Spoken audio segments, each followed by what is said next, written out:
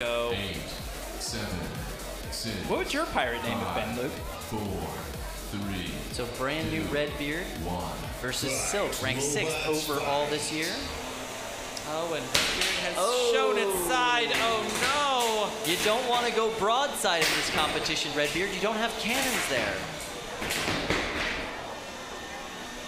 I can.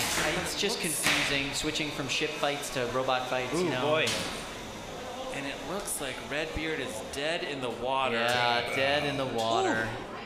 Fast match. Hopefully educational